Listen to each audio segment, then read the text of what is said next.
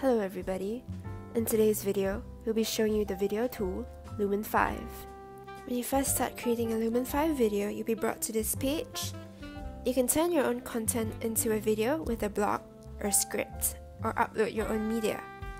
Alternatively, you can also skip this step and create a video from scratch. Next, you can choose a video format.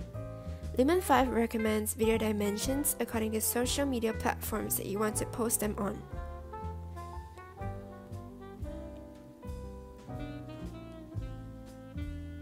Today, we're going for an Instagram story.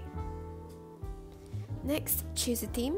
We have designs for the new year, or we can explore designs that were available last year.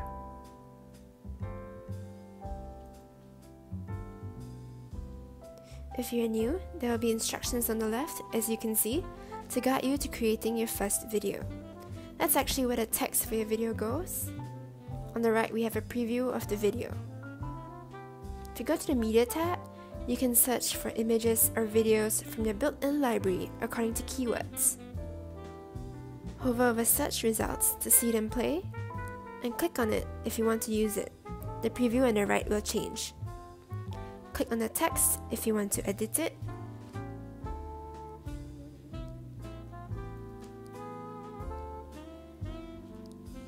You can easily adjust the text size add a subtitle if you want. You can also reposition the text wherever you like. There's also an option for you to highlight keywords. If not, you can preview your frame. You can also toggle through layouts for your video.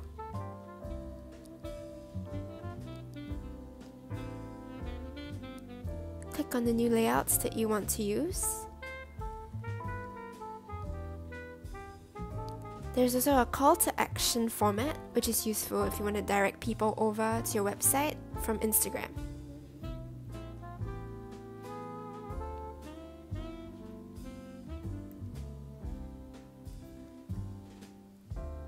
The length of the video is adjustable. On the music tab, you can also search for free audio tracks according to the mood that you want.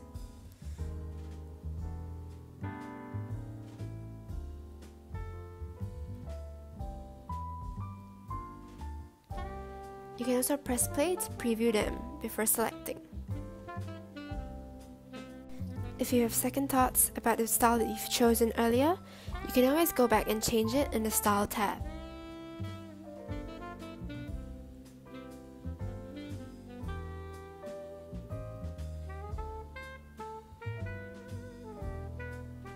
There are quite a few fonts for you to choose from.